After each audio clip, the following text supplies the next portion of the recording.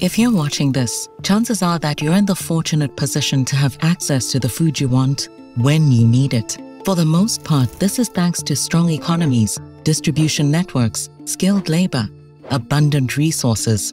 The list goes on. If these components are developed enough, you would be fairly certain that when you go out looking for it, you will have access to enough food to keep you and your family strong and healthy.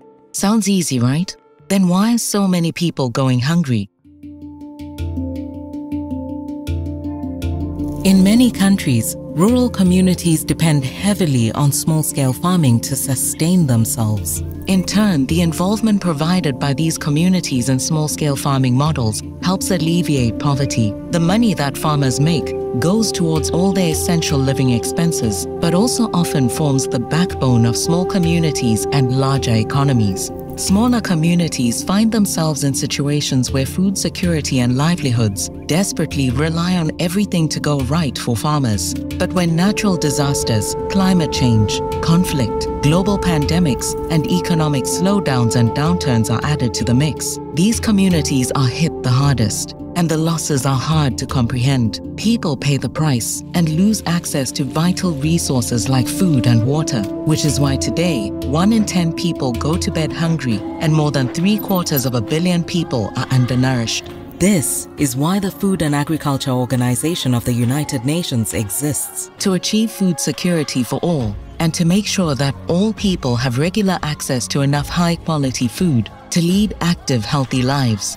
No matter how significant the effect of economies are on their communities, FAO seeks to make this a reality through the transformation to more efficient, inclusive, resilient, and sustainable agri-food systems, and realizing the four betters by ensuring better production through sustainable consumption and production patterns, better nutrition by ending hunger, achieving food security, and improved nutrition in all its forms, realizing a better environment by protecting, restoring, and promoting sustainable use of terrestrial and marine ecosystems, and creating a better life through promoting inclusive economic growth by reducing inequality.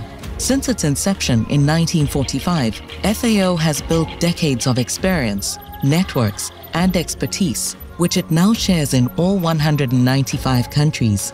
So when farming communities want to increase their ability to face factors out of their control, FAO is there to assist. And this assistance means more than just food security. It means securing livelihoods. It means education for children. It means communities and farmers reinvesting in their businesses. And it means community resilience. By setting out to end world hunger, so much more is achieved. Food security leads to happier, healthier lives for everyone. But to achieve this, we all have a part to play. Find out more about what you can do and join us in creating a world without poverty and hunger.